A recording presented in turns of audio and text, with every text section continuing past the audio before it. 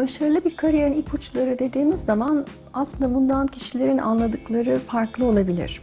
Kimisi için hem maddi hem manevi tatmin ön plandayken bir kısmı için de sadece maddi olarak bir tatmin, bir doyum sağlamak yeterli olabilir.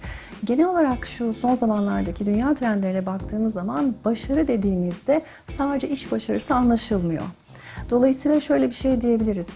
Eğer özel hayatınızda yeterince kendinize zaman ayırabiliyorsanız, bunun yanı sıra beslendiğiniz kaynaklarınız, bu ister aile, ister arkadaş çevresi olsun, bunlar varsa ve bunların yanında kariyerinizde doğru yerdeyseniz, yeteneklerinizi kolaylıkla ifade edebileceğiniz bir yerdeyseniz biz buna aslında başarılı bir kariyer diyoruz.